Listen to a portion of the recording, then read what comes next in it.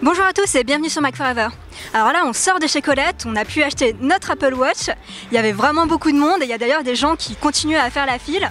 Faut dire que c'était le seul endroit en France où on pouvait vraiment venir, acheter la montre et repartir avec. Du coup, maintenant, on va aller déballer tout ça et vous faire découvrir euh, l'Apple Watch de plus près. Alors voilà, on vient de rentrer de chez Colette avec notre Apple Watch, on va tout de suite la déballer.